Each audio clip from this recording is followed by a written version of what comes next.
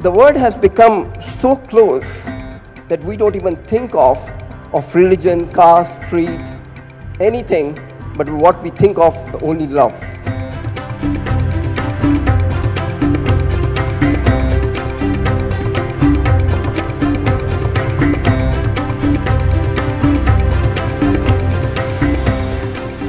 Oh my god.